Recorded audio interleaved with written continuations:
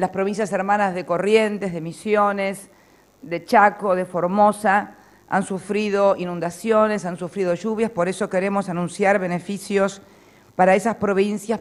Lo que estamos anunciando es que para estos sectores eh, se va eh, el suplemento, un suplemento excepcional por única vez para los jubilados y pensionados, también para los veteranos de guerras de Malvinas y pensiones no contributivas de 5.514 pesos en dos cuotas.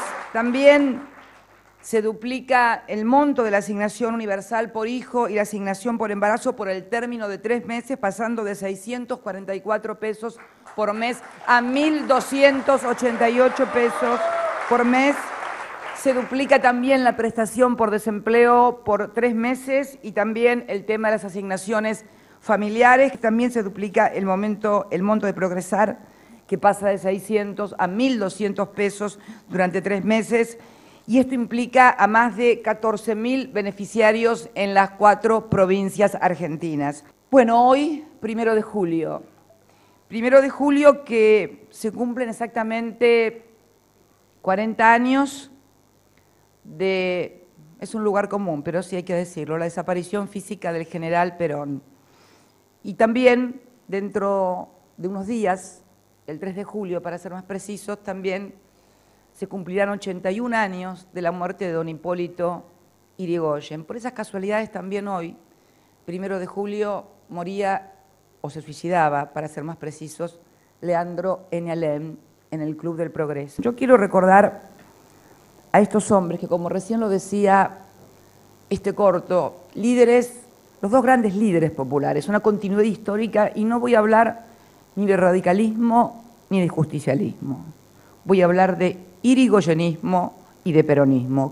Yo decía que por qué tenemos que recordar a los grandes hombres en el día de su muerte. Y la verdad que Perón debe haber sido grande en serio, porque a Perón se lo recuerda mucho más el 17 de octubre que el primero de julio.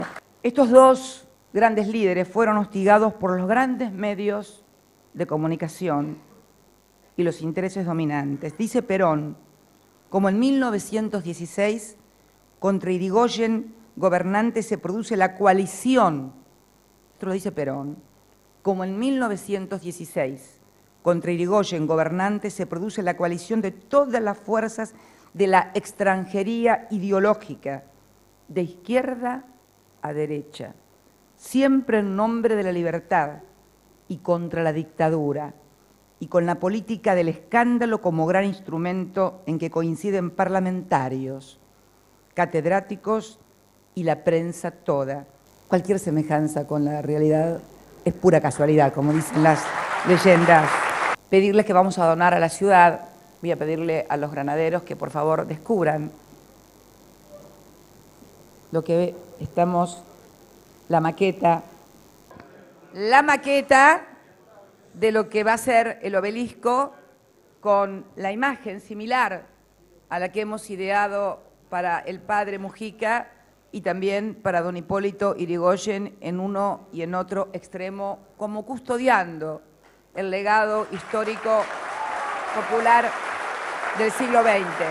Así que en este primero de julio donde recordamos a Juan Domingo Perón, donde recordamos a don Hipólito Yrigoyen como los dos grandes líderes populares del siglo XX, como los dos grandes jefes de los movimientos, del movimiento nacional